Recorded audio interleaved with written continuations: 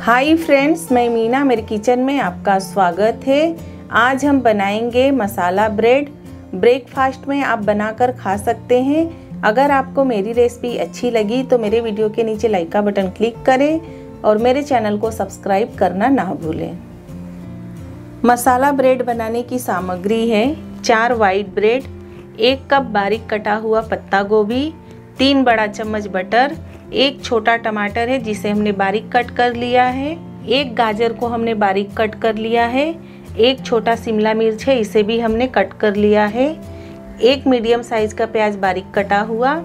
एक चम्मच हरा धनिया पत्ता बारीक कटा हुआ। दो हरी मिर्च बारीक कटी हुई। एक छोटी चम्मच गरम मसाला। एक छोटी चम्मच रेड चिली पाउडर। एक चौथाई चम्मच हल्दी पाउडर। एक चौथाई चम्मच चाट मसाला। तीन कली लहसुन की बारीक कटी हुई, नमक स्वाद के अनुसार। पैन गरम हो गया है, एक चम्मच बटर डालेंगे। बटर मेल्ट हो गया है, लहसुन डालेंगे, मिलाएँगे। लहसुन को हमने कुछ सेकंड के लिए पका लिया है। प्याज डालेंगे। प्याज को हम हल्का ब्राउन होने तक भूनेंगे। प्याज को हमने हल्का ब्राउन होने तक भून लिया है। गाजर डालेंगे, शिमला मिर्च, पत्ता गोभी, टमाटर, मिलाएँगे। गैस की आँच को धीमी रखेंगे।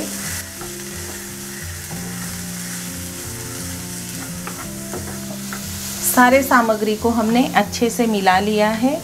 हल्दी पाउडर डालेंगे, हरी मिर्च डालेंगे, रेड चिली पाउडर, गरम मसाला चाट मसाला, नमक स्वाद के अनुसार एक छोटी चम्मच नमक डालेंगे।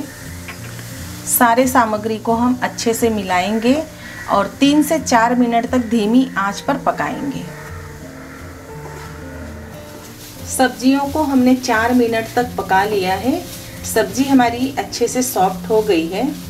हरा धनिया पत्ता डालेंगे और मिलाएँगे।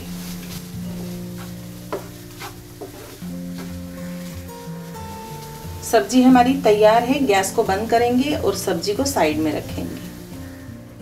चकले के ऊपर हम एक ब्रेड रखेंगे। ब्रेड के ऊपर हम सब्ज़ी वाली स्टफिंग को रखेंगे।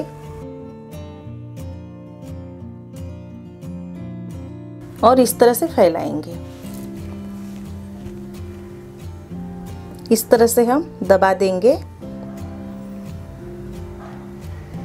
इसी तरह से हम सारे ब्रेड को तैयार करेंगे। तवा गरम हो गया है, तवे पर हम बटर लगाएँगे।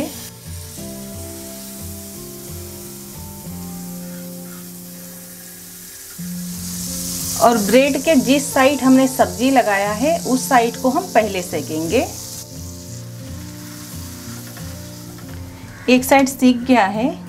ब्रेड के ऊपर साइड हम थोड़ा सा बटर लगाएँगे।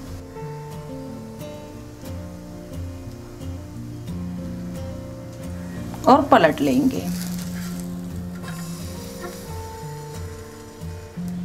ब्रेड को हमने दूसरे साइड से भी अच्छे से सेक लिया है।